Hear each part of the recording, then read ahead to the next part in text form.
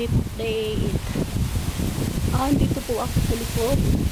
Ganyan po ang nangyayari ngayon. Ayan, falling, falling leaves. So, ganyan po kasama ang panahon ngayon. Yan po. Yung uh, kahoy na yan, dito po yan sa likod namin, sa kakang bahay po yan. Pero, dito po, yan, ayan na. Ayan na, kalakas ang hangin. Look, may ulan na, ayan na, ayan na, ayan na na. So, dito po ang bagsak nila, ayan o. Oh. Lo, ayan po, aray, aray, aray, aray, aray, aray, aray. Uh, uh, uh. Grabe. Aduy, aduy, aduy, aduy, aduy. So, dito ako sa likod. Ganyan po kalakas. Agoy, agoy, agoy, agoy. Oh, oh, oh, oh, oh. Grabe man, uy. Pasok ako dito sa likod ng aking bahay-bahayan. Yan pong aking ampalaya, nakabitin pa. Diyan tayo. Ganyan po ka. Oh. So, ganyan po ang ano ng uh, October. Catastrophe. Hindi nyo ma hindi po natin maalaman kung ano, sisikat ang araw at uh, kung minsan kulimlim tapos may kasama pang ulan. Ayan na po, lumakas na ang ulan.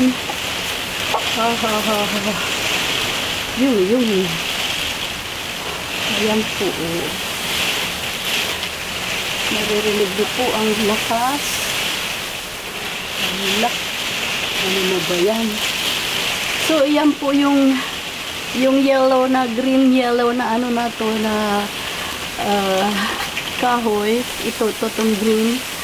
Ano yan? Top ambor yung palagi kong sinasabi na healthy canola na parang ano siya parang itawag doon lon locos parang putito siya oh uman uman uman ayan ayan ayan ayan look Katastrofe talaga.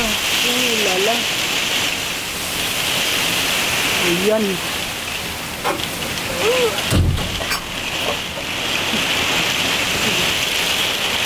So, ayan. Ganyan po ka.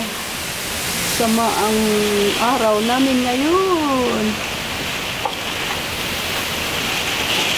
Yung, yung, ito sinarado ko na ito. Ba't pumata na ano na naman? Yan, lakot ng hangin po, oh. Bayo, bayo, bayo. Ayun, puno ng aking garden ng ganda ng kulay po, oh. Yellow, green. Uh, mamaya niyan, ano na yan? Uh, yung, yung trees na yan, ano na yan, kalbo na yan. Ayan, pumunta na sa bakurang ko yung ano ng puno na yan. Yung mga dahon, pero hindi pa lahat. Mga dalawang linggo pa yan, end of this month, makakalbo na yan siya. Hello, ang lakas talaga. Yan, puno na, puno na. Ayun, eh. Hello, hello, hello. Ganyan po, kalakas ang ulan. Ho, ho, ho, ho. Kita niyo yan. Ano lang naman yan, bugso. Tapos nandoon na yung yung dark, ano na yun, gray clouds. Paglampas nun, ano na naman, okay na naman. Yan. So, ito yun, ito yung, ano, yung soup ambuer ko. Napaka-healthy po ang ano niya, parang potatoes o sweet potatoes po. Yan. Pagka lumipas na yung ano na to, mga November, ano na yan, pwede ng harvest. Full. So, ikot tayo dito. Ayan, nagkamatis ako. Ayan, ating kamatis. Hanggang doon yung sa puno na yan. Ayan. Yan. So, yung dalawa na yan, pinahihilog ko na lang. So, hindi na marami na akong naano dito. Marami na akong na-harvest dito. Ito yung sabi, ipo-pruning daw ito, ito. Ay, sayang yung aking ano yun sa labas ko. Yung sahod ulan ko. Maliit yung malagyan ko. Sayang. Oh, lakas talaga. Wow. Nadidinig mo po yun. Pinahagupit ako ng ulan. So, ito po yung aking.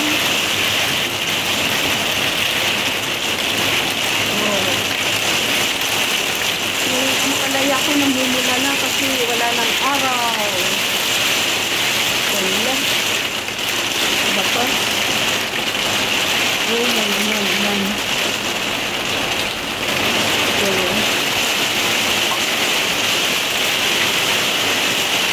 marami na akong nakabit dito. Nakita dito yung green na tomatoes na yan. Kita sa iba po ng itsura niya, oh. Ayan.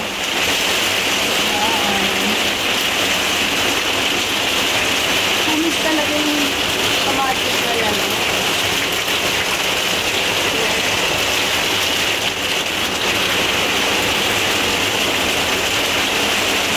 Kumis po yan. So, mawawala ng ating ampowaya. Pero namumulaklak pa sila. Ayan ko kung ano to, taas-taas na ito. Eh. Na hindi pa namumulaklak. Ha, ha, ha. So, chili. Native, native chili ito. Ayan. Tapos marami chili. Ay, sayang yung aking ulan doon. Nga. I- i- ang ano niya, ang ingay. So, dito tayo sa loob ngayon, hindi na masyadong maingay.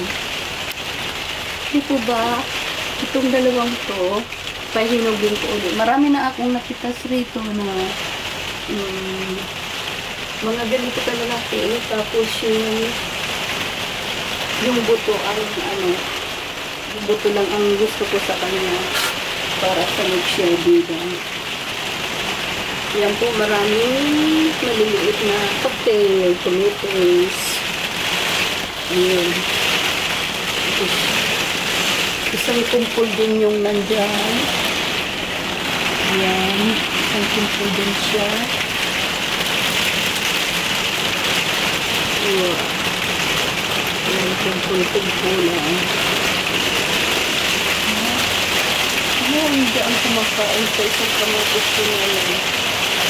Sarado naman yan dito. So, nagtanim din po ako dito sa ilalim. Salad ito, salad. Nagtanim po ako dito sa ilalim ng eh, petersilie. Daan eh, sa ilalim. Petersilie po. Yun. Petersilie. Yung, yung kamuti na doon sa gilid, umakyat na. Kaya hindi ko naging maganda ang outcome ng aking moringa bomb. Ayan. Siguro surviving talaga siya. Kailangan tanggalin ko yung ano. Kasi pag dinidilig ito, ano siya eh, na ayaw niya ng matubig. So yung ating kamuti, kamuti nag namamasyal hanggang kung saan saan umiikot siya hanggang doon. Ayun doon sa dulo. Maakyat siya doon sa gilid. Hindi ako makapunta doon dahil dito sa aking ginawang ano, trailers. Sa susunod din ginagawan niya na kailangan makakapunta ako sa gilid ng ating trellis. Hinarang ko talaga dito sa gitna. Ha, lumupa na ang ano, ingay. So, ganyan po ang nangyari. Pagkatapos ng unos, yan. Ganyan po ang nangyari na yan. Po, oh. Pagkatapos ng unos, hihinto na ang ulan. Ayun. Ah, talaga naman. Least, naging maganda rin po ang ano ko sa aking ampalaya. Nakaipon ako ng kaipon ako ng butoy niya naipon, nakapag-ipon din ako. Kaya, okay lang pong ano, ito, eh, malapit na yung mahinog. Ito. Yan. Kakatuwa naman. Ah, meron pa pala dun sa ilalim. Ayun. Ayun, meron pa doon. Ah, ano, nakita ko lang ngayon. Ito nitid, ito, nito, itong galing sa summer ito. Nitid. So, meron pang isa dito, kulubot na yun. Ayan yun.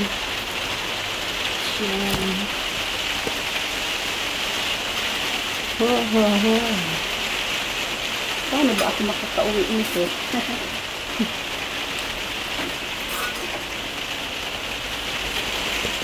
ito daw eh, lily, lily, water lily, under art, sort, ayan.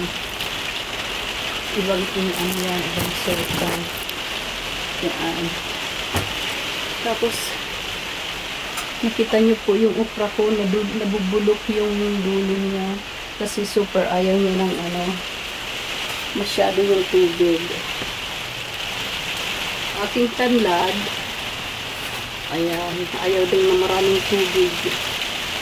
Na ano sila, nabubulok din pag marami ang tubig. Ayan.